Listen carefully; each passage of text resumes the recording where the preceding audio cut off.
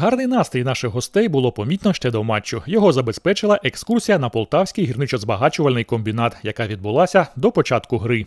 Побывали на экскурсии, и многих она, и в том числе и меня, потрясла своей масштабностью. И я думаю, что благодаря современным технологиям вот, наша Украина будет подниматься. Сегодня увидели такого, что мы давно не видели. Прием был очень э, хороший такой во всех отношениях. И встретили нас, и экскурсию провели. Для нас это было впервые как-то, ну, почувствовали, что нас здесь ждали. Обстановка такая, что фут- футбольная. Почувствовали, мне, когда, может, того, что здесь Сережа Пучков работает, как-то э, люди приняли нас. Де- День металлурга, большой праздник, я считаю, для людей, для жителей. Більш зосередженими перед грою виглядали господарі поля, у складі яких знайшлося місце юним вихованцям дитячо-юнацької школи гірника спорт. Першими рахунок відкрили футболісти горішніх плавнів завдяки голу Андрія Романенка. Потім тричі забивав Дніпро. Рахунок вдалося зрівняти Миколі Федоренку, який свого часу був чемпіоном СРСР та очолював команду Дніпро. Игорь Платко по, ну, прошел по правому флангу, м, передачу. Я принял мяч, обыграл защитника. Два раза качнул вратаря, он не реагировал. Третий раз он среагировал, обвел вратаря и забил гол. Откуда силы берете, вот, чтобы играть такие матчи? Откуда силы? Это любовь к футболу. Я всю жизнь в футболе, э, 16 лет футболистом и 18 лет тренером. Отсюда и силы. Это любовь к футболу. Ще за нічийного рахунку можна було побачити, як грає у завершальній стадії уславлений форвард Олег Таран. Йому трохи не пощастило, м'яч втрапив у поперечину. Цікаво було спостерігати за виходом найстаршого учасника зустрічі Анатолія Петренка. В свої 74 роки гравець нашої команди досить непогано переміщувався полем та навіть наближався до воріт суперника. Ще один гол у першому таймі на рахунок Дніпра записав кращий гравець чемпіонату України Олександр Рикун. Потім 11-метровий влучно реалізував олімпійський чемпіон Сеула 1988 року Євгеній Яровенко 3-1 на користь Дніпра. До перерви ветерани футболу горішніх плавнів звели рахунок до мінімального завдяки голу Андрія Сухомлина 2-3. Не забивав голів, але віддавав багато точних передач у першому таймі Сергій Пучков. Нинішній головний тренер гірника спорт кращі часи своєї футбольної кар'єри провів у Дніпрі.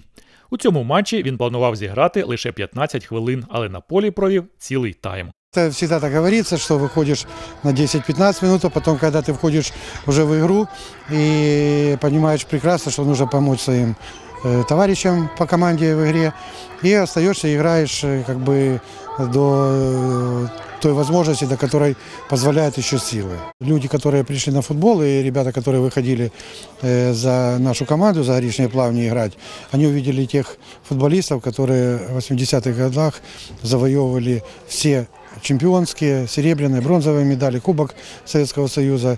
Они увидели, как они играют, что э, вне зависимости от э, возраста все равно технический потенциал остается на высшем уровне. Другий тайм почався в рівній боротьбі, проте вдалими були дії наших футболістів. Ось так Роман Цимбал встановив рахунок 3-3.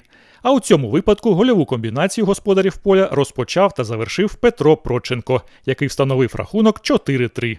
І все ж таки у основний час ця зустріч завершилася у нічию. Ветерани Дніпра покарали господарів за грубість. В кінці матчу знову з пенальті рахунок зрівняв Євгеній Яровенко. Він оформив у цій грі дубль та встановив остаточний рахунок 4-4. Конечно, уже скоростя не те, силы не те, но в любом случае мы собираемся, играем, класс он по-любому остался.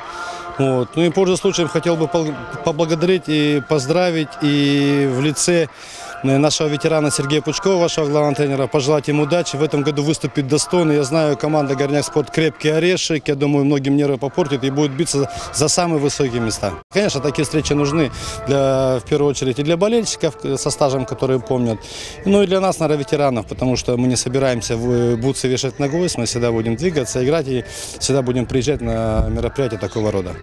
Після цього команди вирішили пробивати пенальті, більша частина з яких була реалізована. Із п'яти ударів суперники не реалізували лише один. У господарів міг відзначитися Андрій Сухомлин, який потрапив у поперечину. А у Дніпра невпевнено пробив Олег Таран. Його удар відбив голкіпер господарів Сергій Дугінов. Вирішальним виявився ось цей удар, який голкіпер Дніпра Микола Збарах відбив. Тож загальний підсумок серії 5-4 на користь ветеранів Дніпра. Ветераны Днепра это, это великая история. Это суперфутбольные люди своего времени. И поиграть против них и находиться с ним на одном поле – это большое удовольствие. Очень приятно э, выходить на поле с людьми, можно сказать, легенды футбола, которые посвятили свою жизнь профессиональному футболу.